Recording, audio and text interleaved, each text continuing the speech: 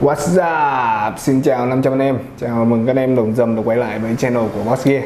Thì hôm nay admin sẽ cùng đưa ra cái review sơ lược về hai con chuột mà đang rất là hot vừa mới về Boss Gear. Thì uh, bây giờ mình sẽ cùng review cho anh em à, một con chuột là hình dáng hột xoàn như thế này đối xứng với một con chuột là công đá học đều là của hãng Zero đây Và ok bây giờ mình sẽ cùng vào cái đánh giá chi tiết của mỗi con.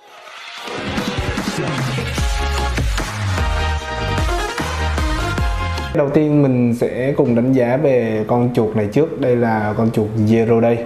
Với cái logo Zero Day ở ngay à, phía hông chuột, ngay trên thân chuột ở đây. Đây là con Zero Day V6 Thì à, con này có cái giá thành của nó rất là rẻ. Nó khoảng tầm 170 ngàn thôi.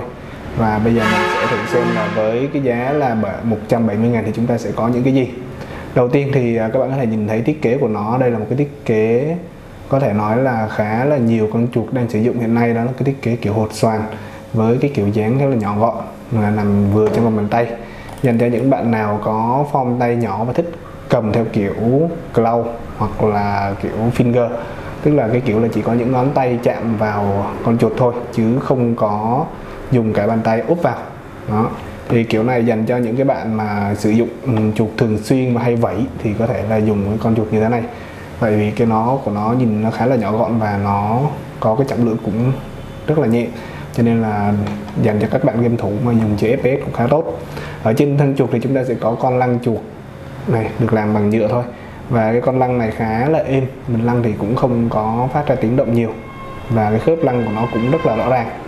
Ở đây chúng ta sẽ có thêm nút chỉnh DPI nữa. Thì con này hiện tại nó chỉ có hỗ trợ được ba nút DPI thôi.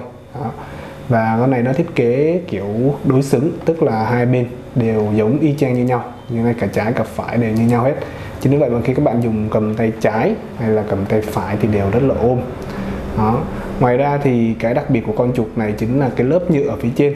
Cái lớp nhựa này thì nó được giống như một cái lớp phủ nhung vậy, thì nó sẽ có cảm giác hơi sần một xíu nhưng mà lại rất là trơn và nó sẽ hơi bám bám tức là mình cầm vào có cảm giác rất là sướng giống như à, cầm lên một những cái con chuột mà nó được phủ nhung vậy đấy.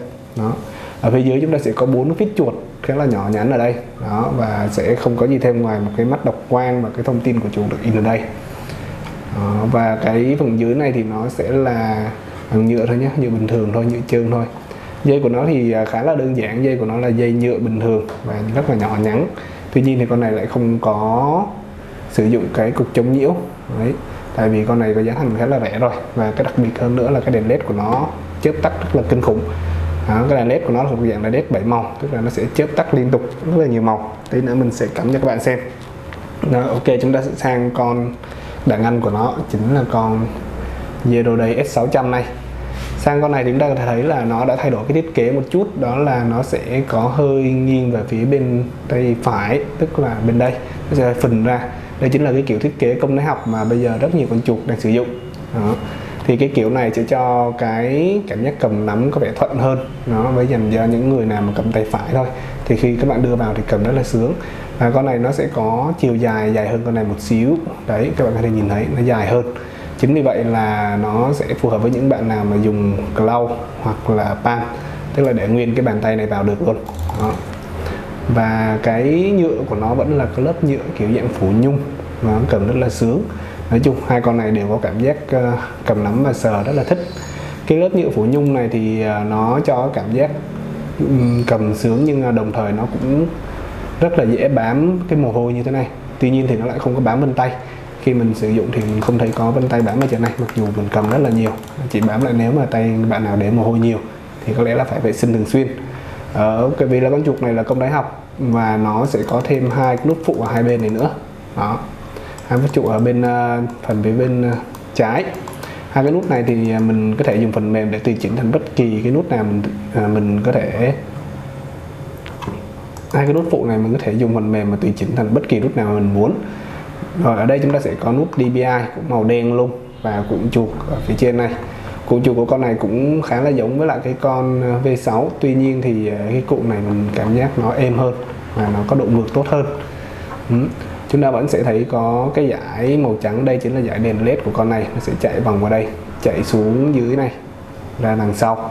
Nó sẽ chạy xuống như đây. Chúng ta sẽ nhìn thấy đèn led của nó chạy vòng quanh như thế này và đặc biệt là con đèn led này là con đèn led có hỗ trợ đèn led RGB tức là nó sẽ có rất là nhiều màu và nhiều chế độ. Ở mặt đằng sau này chúng ta sẽ có bốn cái phít chuột khá là lớn ở xung quanh. Và cái thông tin của con chuột và đồng thời có một cái nút nhỏ đây. Đây chính là cái nút mà mình chỉnh được các cái chế độ đèn led của con con chuột này. Ừ. à, về dây của con này thì nó sẽ được nâng cấp thành là dây bọc dù khá là dày và nó sẽ có cả cục uh, chống nhiễu tín hiệu ở đây. Ừ, khá là tốt.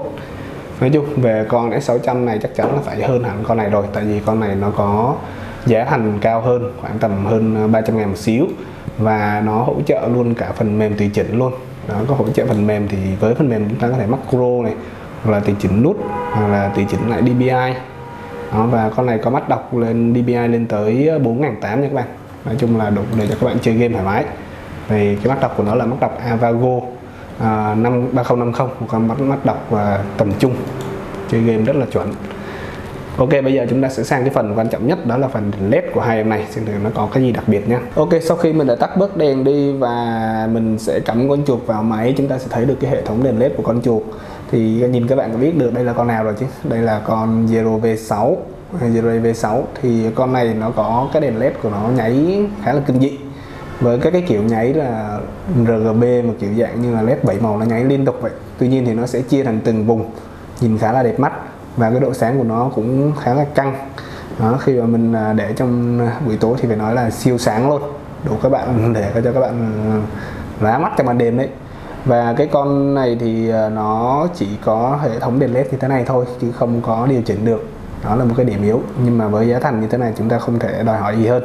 Nói chung về đèn led thì con này nhìn khá là bắt mắt. Ừ. và cái dãy đèn led của nó sẽ là chạy dọc hai bên cùng với ờ, logo cho nên nhìn cũng rất là đẹp. Nói chung là với tầm giá tiền thì cũng khá là ngon rồi rất là ok. Chúng ta sẽ sang cái con tiếp theo đó là cái con cao cấp hơn một chút còn Zero Day S600 thì ờ, như các bạn nhìn thấy thì cái đèn led của nó sẽ chạy vòng quanh dưới chân như thế này. Đó, nó sẽ chạy vòng quanh từ trái qua bên phải và từ phải qua bên trái cái chế độ mặc định của nó sẽ là chế độ uh, chạy RGB như thế. Đó rất là đẹp. Đó, các bạn có thể nhìn thấy uh, rõ hơn. Nếu như mà mình uh, bật đèn lên một chút uh, thì các bạn thấy nó chạy màu hết màu xanh màu đỏ màu vàng gì đấy nó chạy theo mặt như thế này. Gọi là dạng uh, chế độ này gọi là chế độ RGB rồi ở đây chúng ta sẽ có đèn led sáng một chút xíu ở cuộn chuột như thế này và cái logo. Logo này thì nó sẽ sáng đèn riêng nhé không có liên quan gì tới cái dải đèn ở phía dưới này cái giờ đèn này nó sẽ chạy dọc theo phía dưới này chạy xuống dưới phía đít rồi chạy lên ở bên trái. Đấy thì chúng ta sẽ có 5 chế độ đèn led và các cái chế độ này chúng ta chỉ việc ấn cái nút nhỏ phía dưới thân chuột để mình đổi thôi. Đây mình sẽ thử đổi cho các bạn coi. Đầu tiên là cái chế độ uh, sáng led chạy đuổi như thế này nhé rồi bây giờ mình sẽ sang chế độ thứ hai.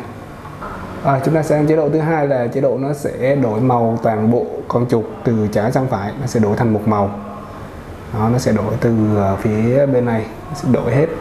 Do cái tốc độ của nó hơi là nhanh nên là khi mình quay camera nó sẽ không nhìn thấy rõ. Chế độ tiếp theo sẽ là chế độ nó chạy từ trái vòng qua bên phải thành một màu sau đó nó thu về lại. Đấy. Nó cũng sẽ tự động đổi bảy màu luôn.